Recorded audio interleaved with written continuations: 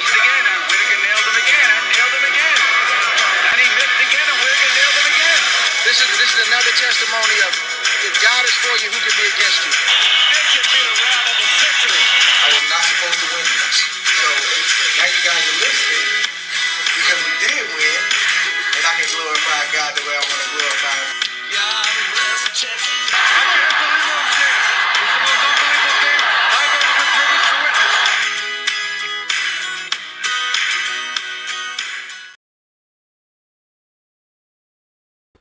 Sorry about that. Welcome, welcome, welcome.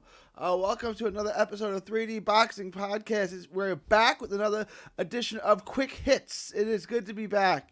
Uh, we're back two shows a day every day, Monday through Saturday, and then one show on Sunday.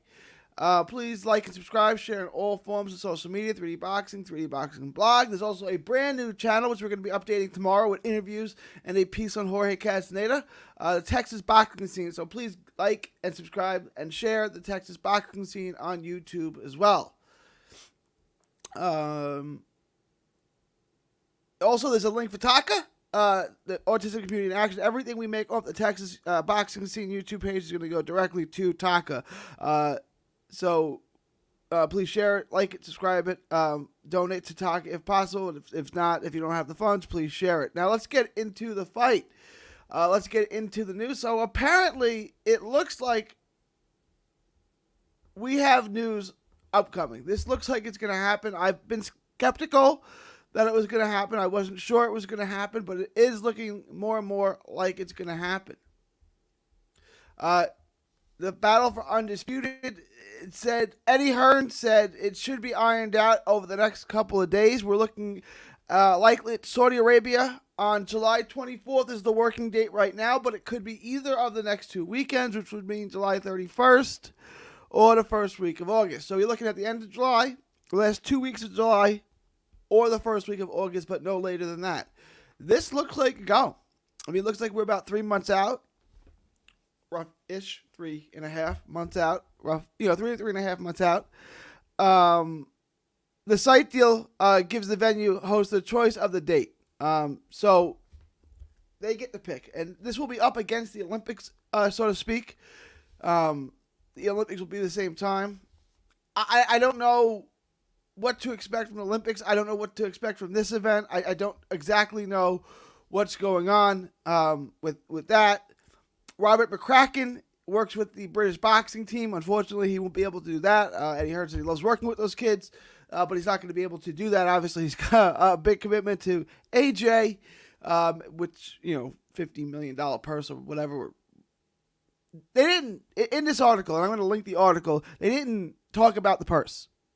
I don't know what the purse is for either fighter. Um, we know it's 50-50, um, but it, they didn't mention any numbers. They didn't mention how big the site fee was. Um, but it, said that it's gonna. It looks like it's a go, and they should have everything ironed out today, and maybe it'll be announced later in the week. It looks that way. It looks like we are gonna get this fight. Um, July twenty fourth, the thirty first, or the first week of August is, is what we're looking at in Saudi Arabia. Um, Eddie Hearn again seems confident. Uh, He said that they don't have a choice um, that whoever is putting up the money, and, and this is like a mafia deal. They won't say who it is or what it is, um, but they're saying is that they didn't, you know, Eddie and Top Rank, they don't have a choice. Um, that the site gets to pick the gets to pick the day, whatever Saturday that is, but it's got to be one of those weeks, and, and they get to pick it. So Eddie can't move it around the Olympics. They don't have any. They they don't have any, you know, any freedom there. Um, uh, I'll read it to you. It says it will depend on timings. The date we get given is what the fight is when the fight takes place, and the guys know it will be around the Olympics. It could be inappropriate, but it's the biggest fight in boxing and the biggest moment in AJ's career, so we have to work it out. Um, someone is spending a lot of money, so we have to go whatever they. So we have to go whatever they say, and it, that's true. I mean, somebody is paying millions, tens of millions, at least hundreds of millions. I, I don't know how much they're paying to have this event here, but you know, it's got two commas in it. I can tell you that. You know, it's probably got eight figures in it. Um, so they're gonna get to pick when the, when the fight is. because they're paying the big bucks for it. We said it will hold about twenty thousand fans. Uh, but guys, this is big news. We're gonna get this fight now. You guys know I'm picking Fury to win. I think Fury outclasses him. I, I, think AJ is a bit overrated. I think AJ is a great champion. I, I think he's a great spokesman for, for, for, for boxing. I think he's a great spokesman to have as the heavyweight champion. He's personable. He's likable. He's smart. He fights everybody. He doesn't duck or dodge in no opponent. He's a great guy to have as a heavyweight champion. You know, he's a good looking guy. He's a great mouthpiece. He's everything you'd want in a heavyweight champion. That being said, I think he's going to lose to Fury, and I think he's going to lose convincingly. Um, I don't know if Fury stops him. It depends on what Fury is in for. But uh, you know, I said I think Wilder beats AJ. I think Usyk beats AJ. I think if Andy Ruiz got in shape, he'd beat AJ again. It's not that I think AJ is terrible. I just think all those guys beat him. Um, so I, am ninety. You know, I'm ninety nine percent confident that Fury wins this fight, and we'll have an undisputed heavyweight champion of the world. The first time we'll have a four belt unified undisputed champion in the four belt era. Um, so that's fun. Again, I'm picking Tyson Fury. Let me know what you guys think. But this looks like a go. Everything I'm hearing says that this fight um, between Anthony Joshua, who holds the WBA, IBF, and WBO belts, will and Tyson Fury, who holds WBC and lineal belts, will it's a go. You know, both guys have agreed to terms. Um, the site fees getting ironed, uh, the, the, the location and the dates getting ironed out, and we should know maybe this week. But everything is agreed on. It's going to be either July 24th or the last week of July or the first week of August in Saudi Arabia. So I mean, this is big news. Um, it's the biggest fight in boxing, and it's getting made. It's getting done. Um, please like and subscribe. Share on all forms of social media, 3D Boxing and 3D Boxing Blog.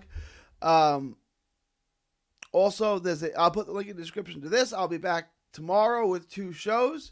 Um, add more content to the Texas Boxing Scene channel as well. Please like and subscribe to that. Please also share the link in the page for TACA talk uh, the autism community in action. Please share, like, and share that. Subscribe to that. Uh, subscribe to that. Share it. Get it around. It's a, it's a worthwhile cause. It's uh, near and dear to the heart of 3D boxing. Well, we'll leave it at that. This is National Autism Month. Um, yeah. Uh, it is April 19th, 2021. Ivan Calderon is still in the Boxing Hall of Fame. Let's make that change. Let's get Iron Boy in.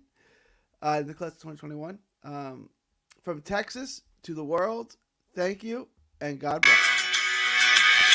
Don't miss a tweet, post, story, or video. 3D Boxing is on Twitter, Instagram, and Facebook. Hit the subscribe button now to stay inside the ring.